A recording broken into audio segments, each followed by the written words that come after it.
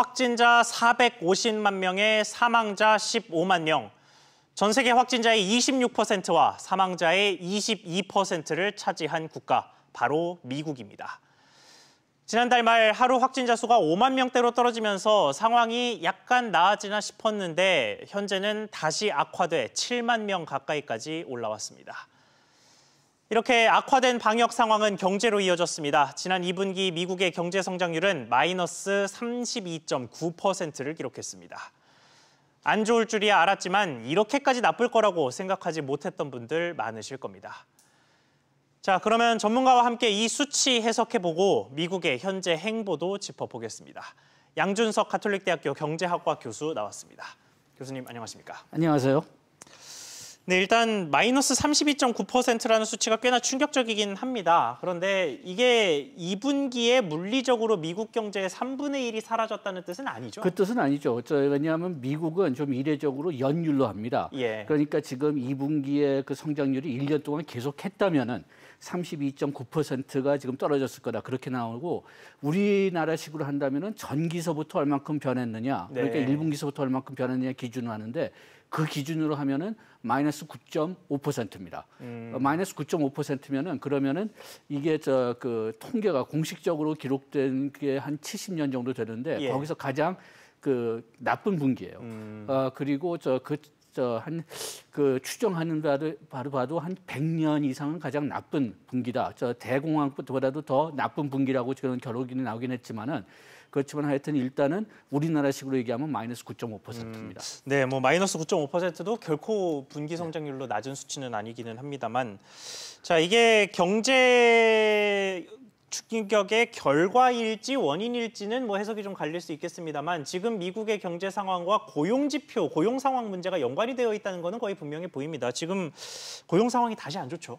아, 그렇죠. 지금 저 그 2월까지만 해도 이제 실업률이 3.5%였는데 예. 요 실업률이 4월에서 14.7%로 떨어졌는데 지금 6월에 11.1%로 좀 나아지긴 했습니다만 예. 그렇지만은 미국의 월별 저 그 통계는 저 두 번째 주 기준이에요. 두 번- 그러니까 이 11.1%는 6월에 두 번째 주를 기준으로 했는데 예. 6월에 세 번째 주서부터 좀 나빠지고 있다는 기- 겨- 어, 결론이 계속 나오고 있습니다. 예. 그래서 지금 7월 통계는 아직 안 나왔지만은 7월에는 이 11.1%보다는 악화될 거라고 지금 어, 생각을 하고 있습니다.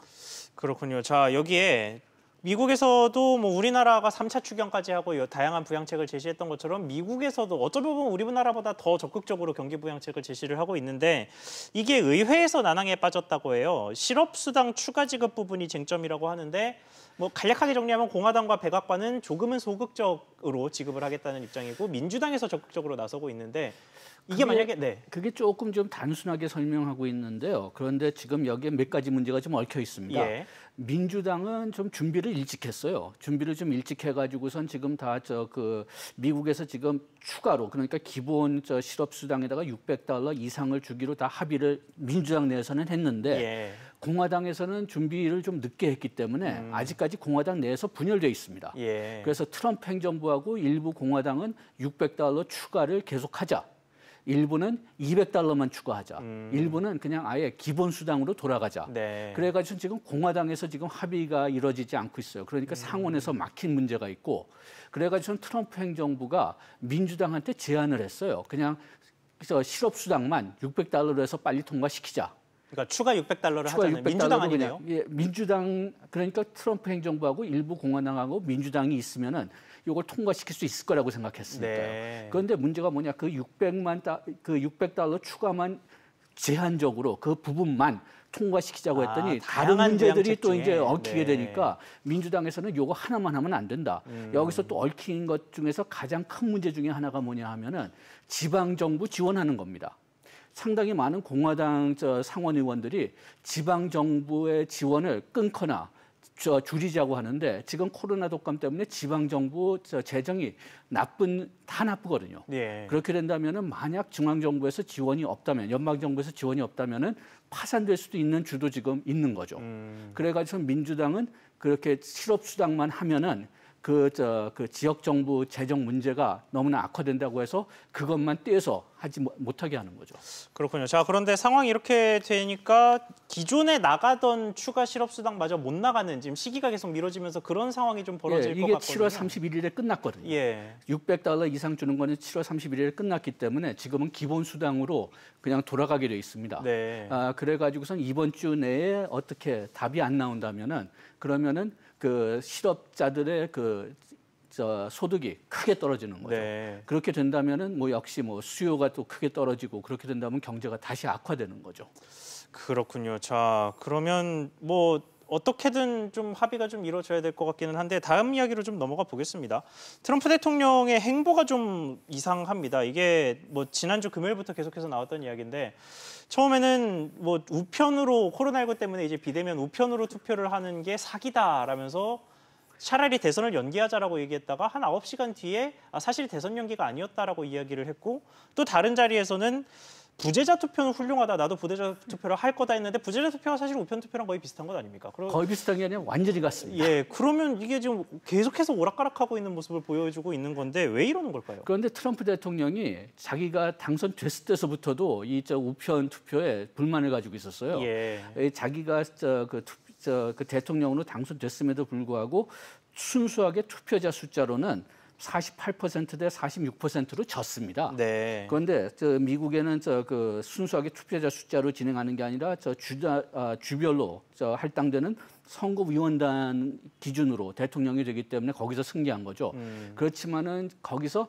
자기가 그 투표자 수로는 졌다는 거에 대해서 계속 그냥 좀 불만을 가지고 있었던 네. 것 같고요. 그렇게 해서 2016년 그 자기가 당선됐을 때서부터 표를 잘못 셌다, 음. 표가 없어졌다. 그렇게 불만을 하고 있고 특히 우편 그저 투표에 대해서 저 상당히 많은 불만을 가지고 있었거든요. 예. 그래서 외국이 조작했다. 그런데 이제 자기가 좀 지고 있는 여지가 보이니까 그 점을 계속 강조하는 거죠. 음, 그렇군요. 자, 그러면 뭐 일관된 모습을 보이고 있다는 생각은 또 들기는 하는데, 자 경제 이야기로 돌아가 보죠. 자, 미국 경제 또 나아가 세계 경제 또 다른 뇌관이 하나 더 있죠. 코로나19 말고도 미중 무역 분쟁 이야기인데요. 이게 화웨이가 그동안 계속해서 미국에 타깃이 돼 왔는데 지난 주말 들어서 타깃이 바뀐 모습입니다. 틱톡을 거론을 했어요. 동영상을 공유하는 중국의 메신저 앱인데 뭐 틱톡 또 틱톡은 애초에 이번 달부터 사용이 금지가 됐고 또 오늘 밤에 전해진 소식입니다만은 이 다른 소프트웨어 기업들도 추가로 제재할 수 있다 준비를 하고 있다 이런 식으로 이야기가 나왔어요. 이게 그러면 언제까지 계속해서 이 기업 대리기가 계속될 거라고 보십니까? 그냥 저 그, 지금 저그 트럼프 대통령이 지금 최소한도 저그 설문조사 결과를 본다면은 너무나 지금 뒤져 있거든요. 예. 아, 그렇기 때문에 아, 거기에 대해서 계속 뭔가 뉴스를 만들어야 된다, 계속 공격하는 모습을 보여야 된다. 그래가지고 중국에 대한 공격뿐만이 아니라 뭐 바이든 부통령 후보에 대한 저그 공격 계속 이제 저 유지될 것으로 보이고요. 예. 틱톡 같은 경우가 좀 재밌는 게 뭐냐 하면은 계속 트럼프 대통령한테 저 비난을 받으니까 마이크로소프트에 팔려고 했다가 네. 저 트럼프 대통령이 틱톡을 금지시켜 놓는다고 하니까 마이크로소프트가 이제 자기가 살려는 그런 협상을 중단했다고 뭐 어저께 저녁 신문에 나오더라고요. 예. 저 미국 신문에. 아, 그렇게 본다면은 이 틱톡이 미국 손으로 그러니까 마이크로소프트 손에 넘어간다고 해도 트럼프 대통령이 그걸 불허하겠다, 네. 사용 못하게 하겠다. 아, 그렇게 나온다면은 이게 좀그저 그, 그 기업의 소유가 국자 국가 소유가 바뀐다고 해도 계속 그 틱톡을 제한하겠다 하면은 네. 아, 그러면은 이게 목적이 뭔지 거기에 대해서 좀, 흐, 저, 좀 흐려지는 네. 아, 그런 면이 좀 그럼 있다고 지금대로 해석되고요. 된다면 그 서비스도 못하고 매각도 못한 채 붕 떠 있는 상태로 붕 떠 있는 상태로 돼 있고요.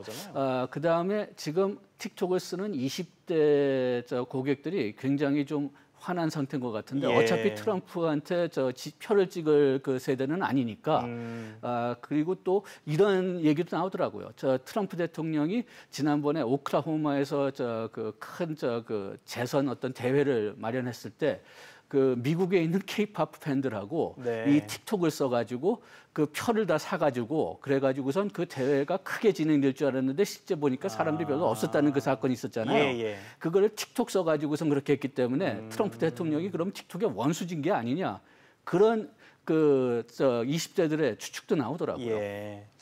그렇군요. 자, 그래서 어쨌든 이 그 트럼프 대통령의 개인적인 원한이든 어쨌든 간에 이렇게 예. 중국과 미국의 경, 경기 관계가 계속해서 악화가 되면 이 경제에도 영향을 미칠 수밖에 없거든요. 우리나라가 이제까지 비교적 코로나19의 경제 국면을 잘 뚫고 왔다는 그래도 평가를 받고 있고 최근 들어 회복세가 좀 나오는 모습도 보이고 있는데 지금 계속해서 이렇게 되면은 하반기 상황을 겨- 결코 낙관할 수가 없을 것 같거든요. 우리 경제의 하반기 상황 또 대처법이 있다면 어떤 게 있겠습니까? 아, 지금 대처법이 있다면은 지금 그 수출이 뭐 이번 7월에 좀 저 하락 그 추세가 좀 둔화됐다고 해서 좀 우리가 좀 안심을 좀 하- 하는 것 같은데 예. 지금 우리가 저 7월에 아 저 그 7월에 저 수출이 지금 7% 떨어졌다고 하는데 작년 7월 보니까 한 17% 떨어졌어요. 예. 그러니까 작년 7월에 지금 상당히 낮은 상태에서 더 낮아졌기 때문에 네, 조금 작년부터 이렇게, 경기 둔화 예, 우려가 있었죠. 예, 그래가지고선 이게 좀 크게 떨어진 것이 이제 조금 좀 덜 떨어지는 것처럼 보이지 않느냐 좀 그런 염려가 있긴 한데 예. 어, 지금 가장 큰 미지수는 미국이 경기가 회복될 거냐 그게 저 가장 큰 미지수라고 네. 보이거든요. 지금 이 수출 통계를 보면은 중국에 대한 통계 아, 수출이 지금 늘어났고 그다음에 미국에 대한 수출이 그래도 조금 좀 늘어났는데 예. 아, 그런데 미국은 지금 다시 코로나 독감이 악화되면서 지금 3분기 경제가 더 나빠진다면은 그러면은 세계 경기 회복도 더 어려워질 것 같고 그다음에 네. 수출도 더 어려워질 것 같습니다. 하여튼 지금 미국이 회복되느냐 안 회복되느냐가 가장 큰 미지수인 것 같습니다.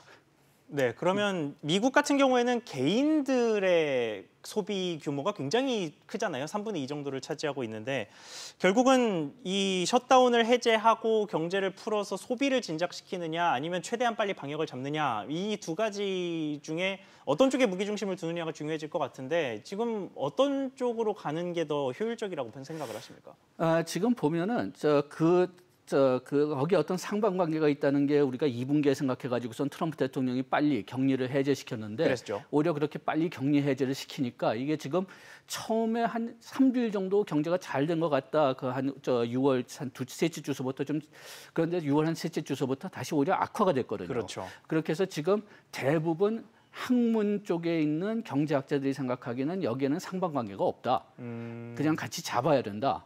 그리고 이번에 소비가 뭐 지금 미국 경제가 많이 떨어지긴 했지만은 소비가 예상보다는 좀 덜 떨어졌어요. 물론 예. 저그 온라인 같은 거는 크게 올랐고 그다음에 뭐 시- 실제 쇼핑 나가는 거 많이 줄었지만 그래 가지고 이게 상반되는 개념이 아니라 따라다니는 개념이다. 음, 아 그렇게 되는 주장이 지금 계속 나오고 그러니까 있거든요. 방역과 경제를 방역과 반비례하는 걸로 생각하면 예, 안 된다. 방역을 잘 해야지만 경제가 늘어난다. 예. 그러면은 몇 가지 산업은 좀 피해를 받을 수밖에 없습니다. 예를 들어서 뭐 식당 산업이든지 그렇죠. 뭐저그 바 같은 데든지 그런 거 피해 받을 수밖에 네. 없지만은 그래도 방역이 잘 돼야지 소비도 전체적으로 올라간다. 그래서 그런 방향을 지금 잡아야 될 거라고 학, 그 학계 쪽에서는 생각하는데 문제는 뭐냐 트럼프 대통령이 그걸 인정하지 않는다는 음. 거죠. 트럼프 대통령은 빨리 경제가 회복돼야지만 그래야지만 이제 경제 자체가 저 어, 경제 자체가 이제 활성화되고 그렇게 된다면은 격리를 빨리 풀어야 된다. 그렇게 해서 계속 격리를 풀어야 된다고 지금 주장을 하고 있기 네. 때문에 어떤 면에서는 지금 트럼프 대통령의 지지율이 빠르게 떨어지고 있는 거죠.